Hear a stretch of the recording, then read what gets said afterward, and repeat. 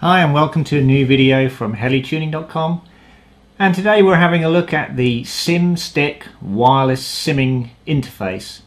Uh, what this is, it's a, a little interface that you plug your simulator dongle into and then you plug a receiver into it and it allows you to then use the 2.4 gigahertz connection from your transmitter to the receiver that's plugged into the SimStick and effectively you've got wireless simming. So your signal goes from your transmitter to the receiver, then from the receiver into the sim stick, and then from the sim stick into your computer and allows you to fly on the simulator.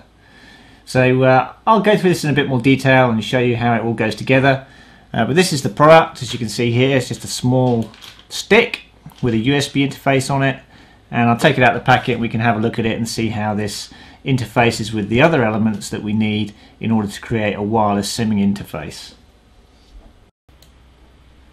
Okay, so here we have a much closer angle on the sim SimStick. I'm just going to point out a couple of things and then we'll turn it over and have a look at the back of the SimStick. So this here is obviously your USB interface at the front of the SimStick here, this piece here. Uh, and that's what you plug into your USB port on your computer. Now what you can see down under here is a little stereo jack type port uh, and that's where the uh, jack from your uh, simulator dongle plugs in. But this will become more clear when I turn the stick over so I'll uh, stop the video here and we'll just turn the stick over and you can have a look at the other side. Okay so here we have the other side of the sim stick now what I want to point out is that here we have the USB interface again that we plug into the computer. This here is the jack that we plug our dongle into that would normally plug into the back of the transmitter. So what you normally plug in the back of the transmitter goes in there. And then on your dongle you usually have a USB interface that plugs into the computer. That now also plugs into the SimStick here in this dongle in this uh, USB interface here. So effectively your dongle plugs in here and here. So you've got a loop of wire effectively uh, on your dongle from here to here. So the whole dongle both ends of it plug into the sim stick. And then this bit here this is where you plug in a receiver that you're going to bind to in order to get the signal from your transmitter to the sim stick and then through the looped dongle and then out of the USB port into your computer to your simulator. So the next thing I'm going to do is I'm going to plug a receiver into the port here and I'll also plug a dongle in so you can see how that goes together. Okay, so here we have the receiver we're going to be using. It's an AR6110, which is one of the supported receivers for the SimStick, and you now get some idea of how big the SimStick is as well. Um, showing you a, uh, a known receiver here up against the sim stick. You can see it's really not very big, the sim stick. Now this actually plugs into this here, so you literally plug these pins here into the holes over here. And you have your battery terminal pins overhanging at the end there, so they're not plugged into anything, they're just sort of in the air. So I'll plug that in and just show you how that goes. Okay, so there we go. There we have our 6110 plugged in, and if I just tip it up slightly here, you can see the battery pins overhanging at the end there. Also notice there's a little bit of a curve to the circuit board as well here because the spacing on the 6110 pins is not quite the same as the uh, port that it's being plugged into.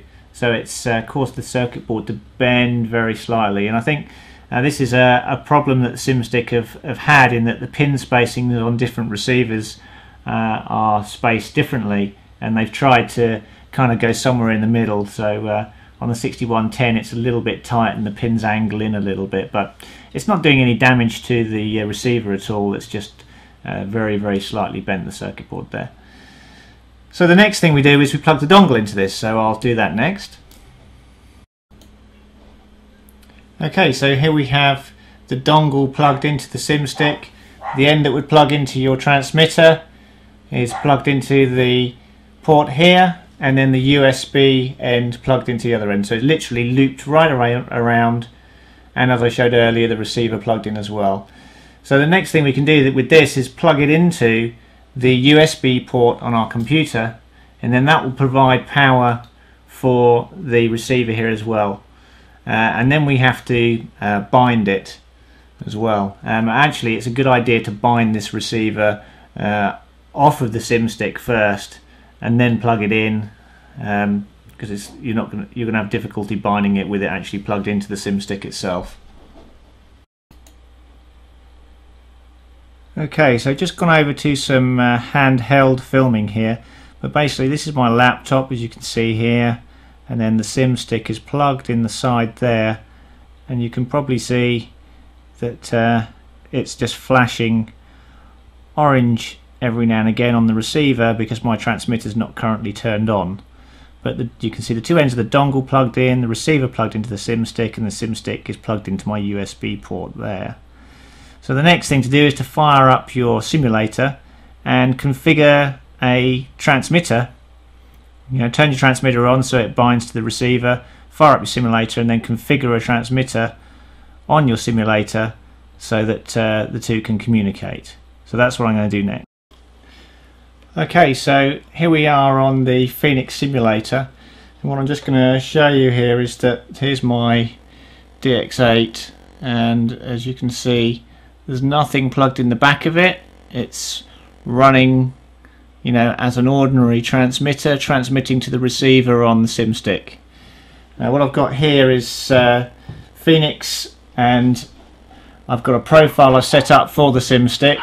If I edit that profile you can see here if I move the sticks you can see stuff moving around so that's my throttle and collective going up and down and left and right aileron elevator and my rudder so that's my profile for the uh, sim stick all done and if I just click finished here you can see the model is there working fine and I can flick into idle up on my transmitter and take off and it's all working as you would expect.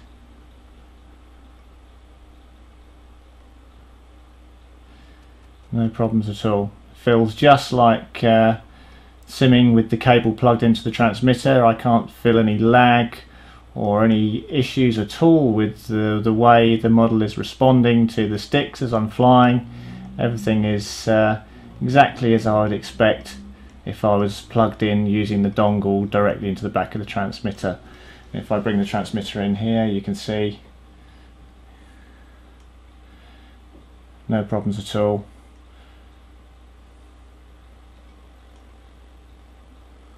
And no cable in the back. Okay, so uh, that's the SimStick. It's a fairly simplistic device, very very easy to configure and uh, just allows you to use your simulator without having to worry about plugging in or taking out cables. You can just plug it into a spare USB port and just leave it there. And when you want to sim you just turn on your transmitter and away you go. Um, no need to plug anything in. It just works immediately